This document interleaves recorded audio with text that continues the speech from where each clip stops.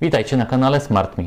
Jeżeli weszliście w ten film, to oznacza, że chcecie zobaczyć, jak można przygotować pierwszą prostą automatyzację w Waszym robocie odkurzającym Roborock S6. Więc w tym filmie pokażemy Wam krok po kroku, jak przygotować automatyzację, żeby codziennie o godzinie 12 Roborock ruszał nam po mieszkaniu i sprzątał je całe. Więc tak wygląda e, ekran główny aplikacji razem z robotem w górnym lewym rogu. Musicie wejść w sekcję Automation, czyli automatyzację.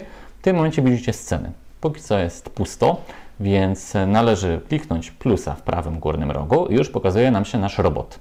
Chcemy go puszczać w konkretnej godzinie, więc klikamy sobie timer i tu już pokazuje się, um, pokazują się elementy czasu. Więc klikamy sobie repeat i mamy teraz tak, once, czyli jednokrotnie, every day, czyli codziennie, weekdays, czyli dni tygodnia, weekends, czyli weekendy i custom, jeżeli chcecie w jakieś konkretne dni. Wchodzimy sobie every day, bo chcemy, żeby jeździł codziennie, klikamy OK, później start time, czyli o której ma zacząć. Przejeżdżamy do godziny 12. Proszę.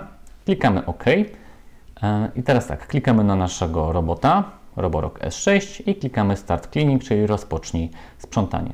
Tak wygląda już podstawowa automatyzacja. Klikamy sobie Save. Jeżeli chcecie zmienić nazwę, to możecie to zrobić w tym miejscu. Klikamy OK i mamy już pierwszą scenę, pierwszą automatyzację i od tego momentu Wasz Roborock codziennie o godzinie 12 będzie jeździł, a Wy zyskujecie kolejną fajną funkcję. Jeżeli ten film Wam się podobał, serdecznie zapraszam Was do innych filmów na naszym kanale i pozdrawiamy razem ze SmartMe.